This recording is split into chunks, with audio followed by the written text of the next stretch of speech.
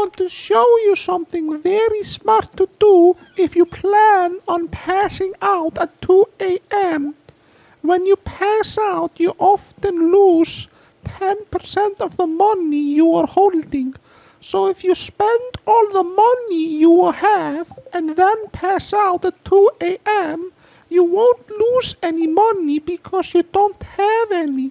So what you can do is spend all your money on bait or something else and then fish until it's 2 a.m.